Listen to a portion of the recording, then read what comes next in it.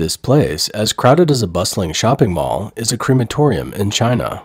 This is true of crematoriums in almost every city in China.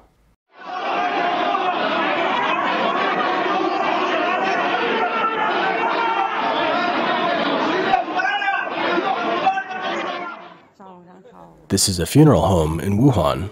The video shooter said she came to the funeral home at 4 a.m. to queue up and saw that there were already many people there. 这我们还是四点钟出来排的队了，那个今年的疫情时候出现了好多人了，这这你看几多车子，一个跟一个的了，这这还看不到那里后头了，看几多人了。You see, there's so many vehicles that you can't see the end. You can see how serious this outbreak is. This is Jiangnan Funeral Parlor. It's horrendous. So many hearses. There was one lineup yesterday. Today, there are two lines that are as long as four kilometers. This is the crematorium in Shanghai.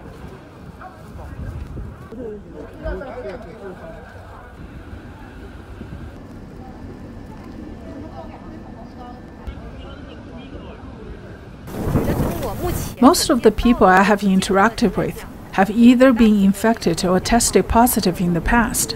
In my personal estimation, the peak of infections appears to have arrived earlier than was reported.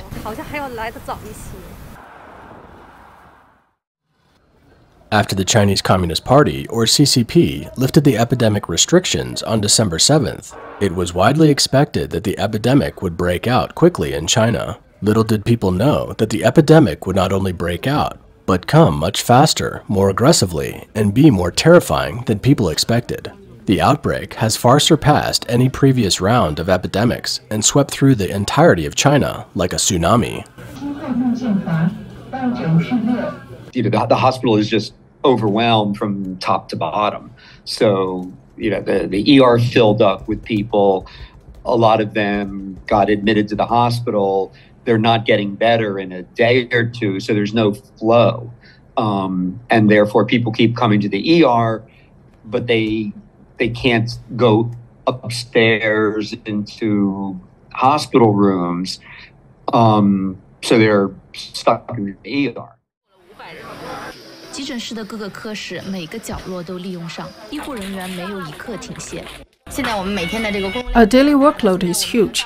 At this moment, we have reached our emergency capacity of more than 530 patients. All the patients who come here have oxygen levels at only 50%, 60%, 70% or so. So we feel a lot of pressure when it comes to severe cases. Our medical staff fell ill one after another, and many colleagues are still working despite being sick. Doctors in China are so overworked they can hardly cope.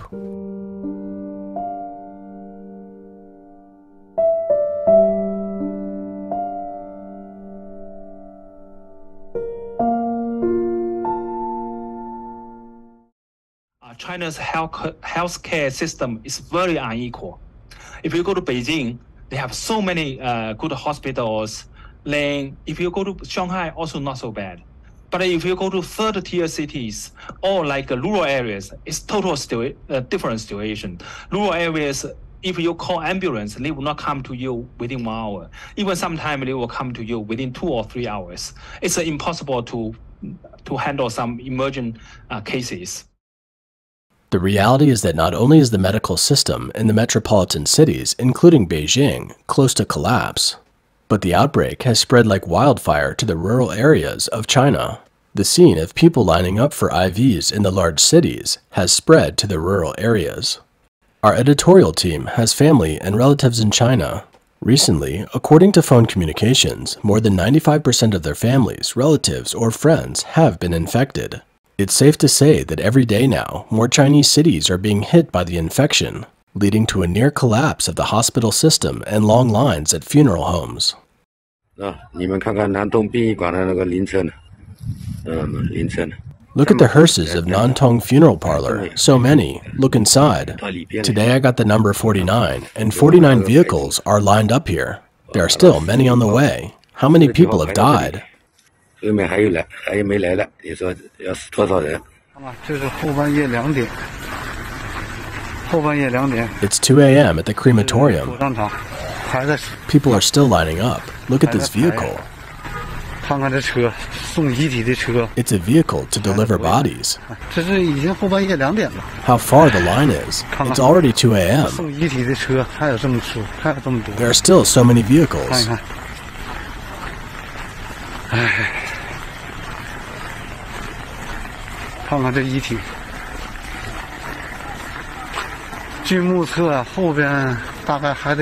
And there are at least 130 vehicles as far back as I can see.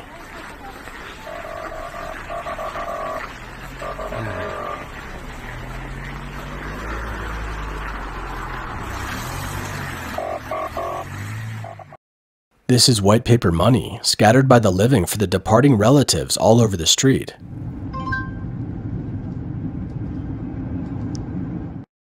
A male CCTV anchor appeared on air for six consecutive days from December 17th to the 22nd as the anchor of news broadcast, causing a lot of buzz among Chinese netizens. This most prominent official Chinese TV news program has a total of eight anchors divided into four crews. They rotate on a daily basis. It has led netizens to speculate that the remaining three male anchors have gone positive. On the other hand, his female anchor partner has appeared on the air for five consecutive days as well. Overseas Chinese said that in recent days they have been sending sensitive content on social media sites in mainland China. Those posts were approved as if online police had disappeared. A Beijing-based dissident interviewed by Radio Free Asia said that the domestic security guards in his hometown told him that the entire public security building in his hometown had its 1 to 200 employees become positive, only a few were left on duty. Information from many places indicates that post office systems in many parts of China have been paralyzed. Here, packages are piling up in post offices and there are not enough people to handle them. Oops.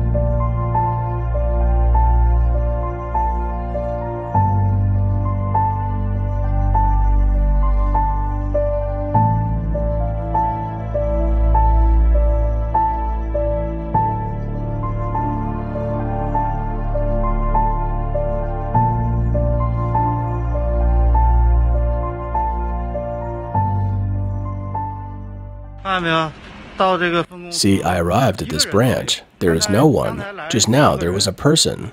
I spoke with him briefly. He said he wasn't in charge of this area and left. There is no one around. Would you say everything is still okay? There is no one. Packages are dropped here. That's it. Against this backdrop, the business atmosphere has been reduced to almost nothing. Here, shopping malls and restaurants in Shanghai are empty.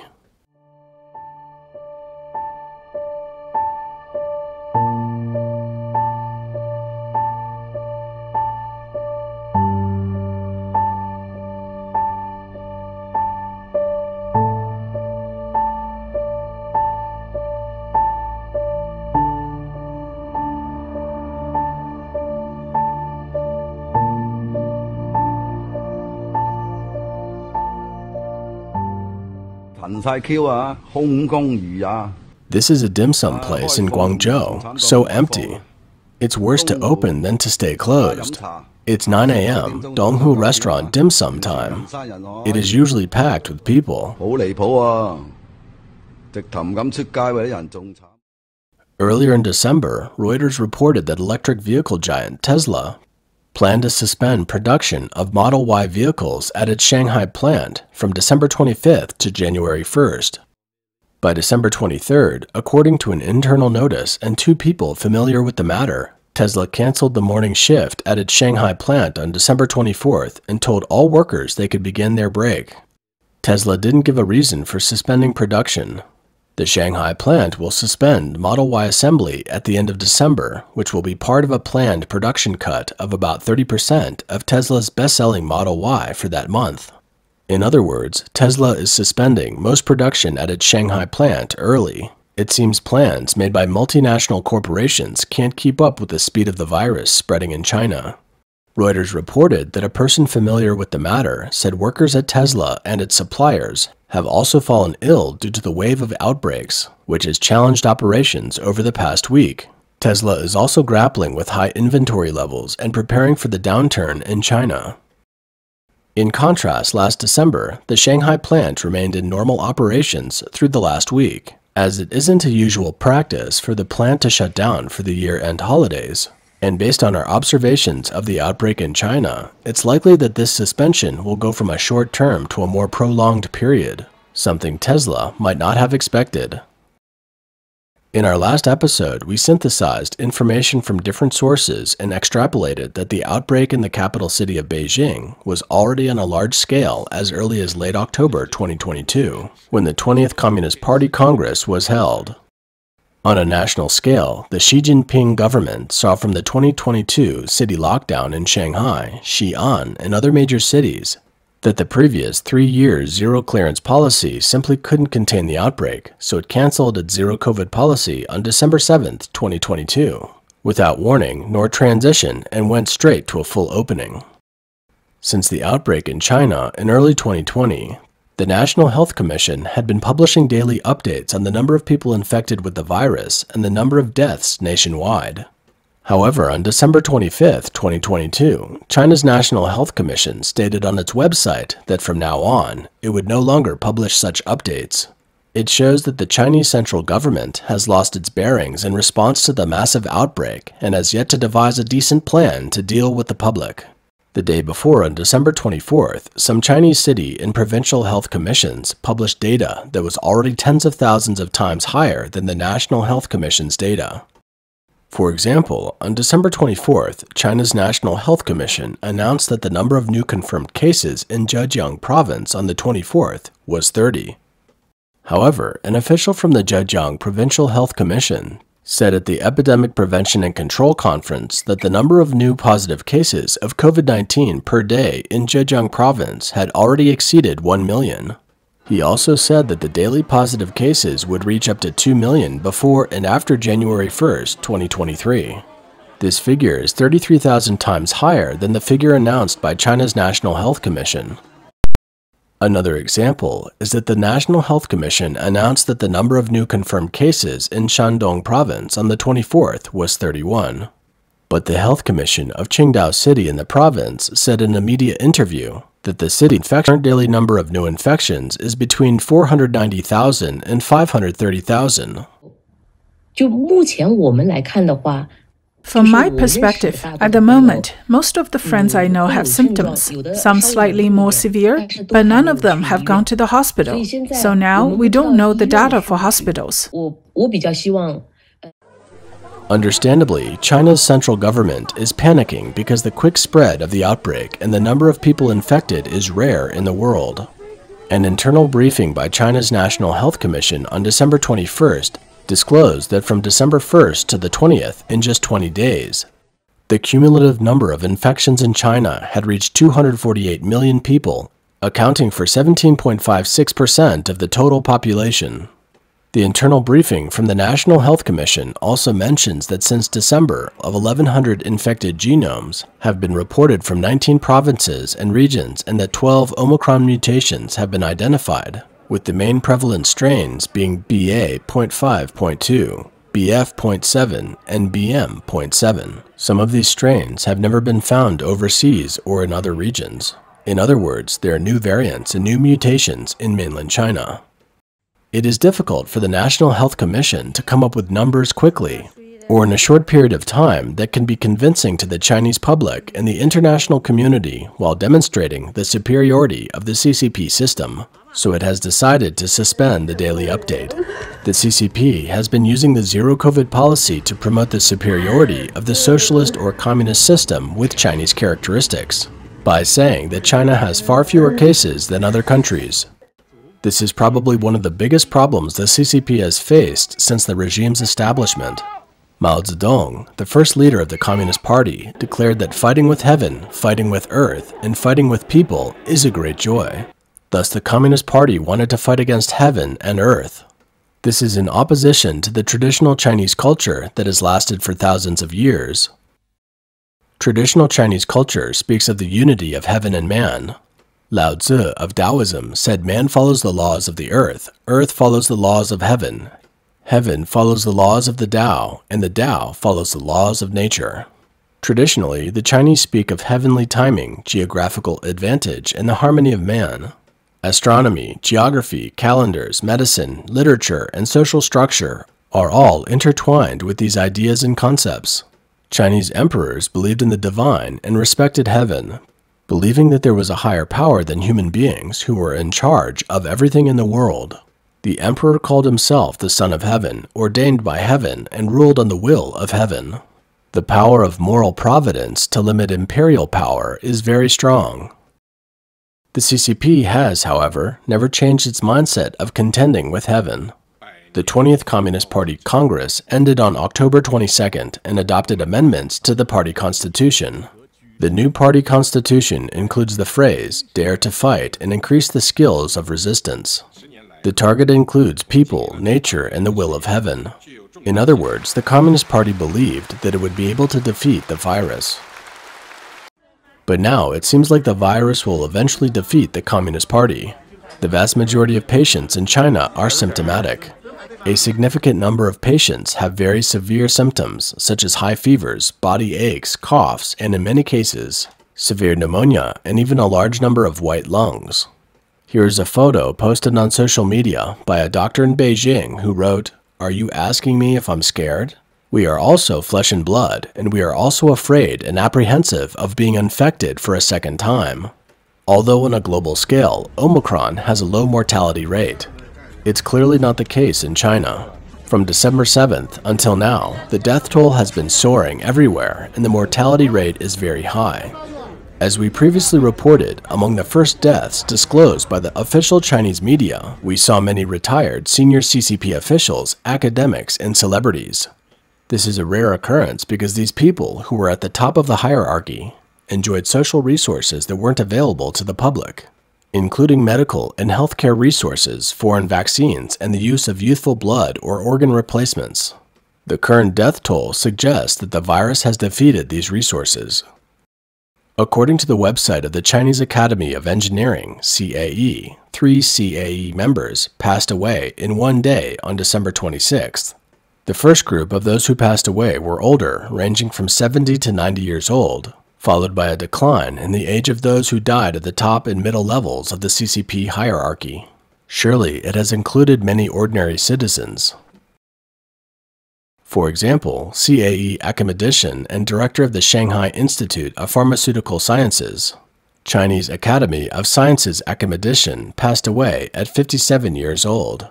On December 25th, the founder of mainland-listed Shanghai Kehua Bioengineering Co. died of an epidemic infection in Shanghai at the age of 66.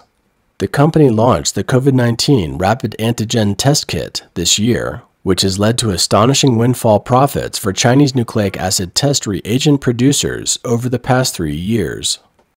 A Tsinghua University professor who was one of the designers of the 2008 Beijing Olympics mascot, Fuwa, died at the age of 67. A professor at Lanzhou University School of Pharmacy died at the age of 51. An associate professor at the School of Medicine of Sun Yat-sen University passed away in Shenzhen at the age of 40. On December 25th, an athlete, a multiple national champion in curling, died in the hospital after resuscitation failure at the age of 27. The news hit the hot search list of Chinese social media Weibo with 370 million views.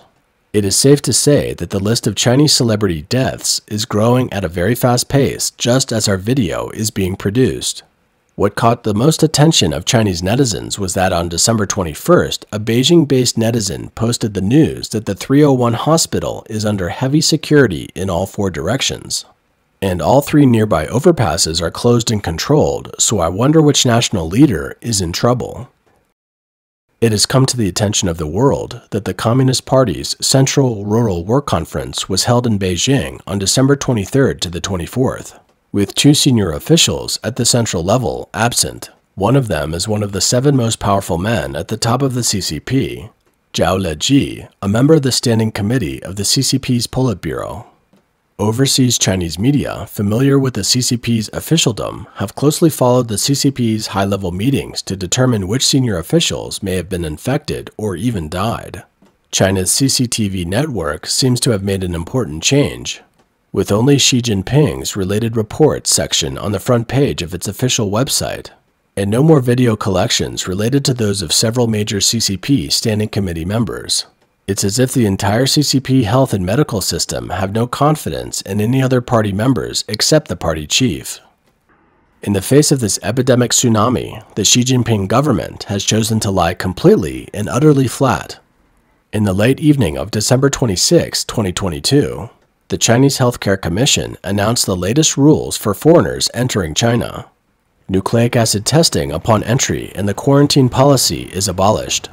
Anyone with a negative certificate for 48 hours before arrival in China can normally enter without applying for a health code. Those with normal health declarations and no abnormalities in routine quarantine at custom ports can be released into the community. International passenger flight capacity restrictions, such as passenger seat limits, are eliminated.